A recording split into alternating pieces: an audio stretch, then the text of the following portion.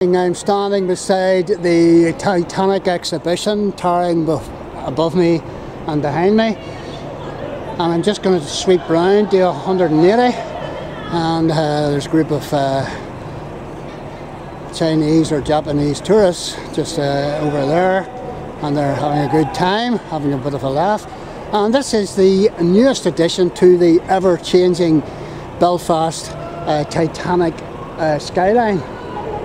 This is Hickson's Point uh, pub, restaurant, uh, music centre, etc. etc. And this um, uh, uh, pub has all sorts of uh, Belfast shipbuilding memorabilia up on the walls and whatnot. And here it's it's themed to to tie in with the shipyard industry that was once so vibrant here.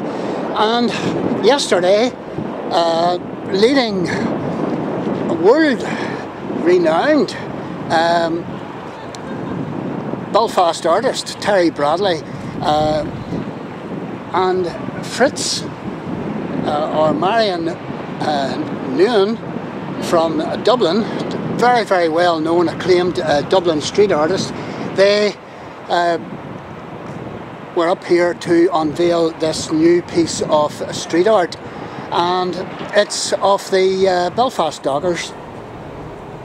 Um, it's a recreation of Terry Bradley's Dockers Rest art painting uh, which you can buy or, uh, or um, you can buy uh, prints of it. Um, so this is this is the ever-changing scene at Belfast. Um,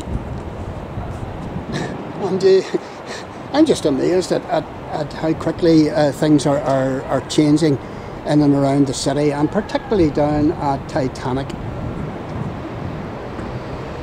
Looking down towards the, uh, the, the Belfast Harbour Marina and looking down towards the SSE Arena and looking down towards the SS Nomadic and Belfast Met and then Titanic Hotel over here. And there's an awful lot happening down here at, uh, at Titanic, an awful lot. So you, you need to get down here and check it out for yourself. Uh, the Titanic Hotel is, is particularly good in that um, it's using the old drawing, the, the old uh, Titanic drawing offices. But this is uh, the collaboration between Terry Bradley and Fritz. And I have videoed a lot of Fritz's work, uh, street art work, uh, in round uh, Belfast. Brilliant, brilliant artist, and this collab is is fabulous.